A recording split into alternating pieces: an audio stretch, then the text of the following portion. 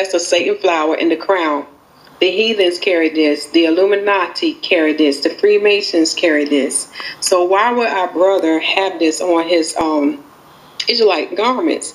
Now, I'm not just talking about this camp only. I have other photos I would let you see of the other camps and I, that have these signs and symbols.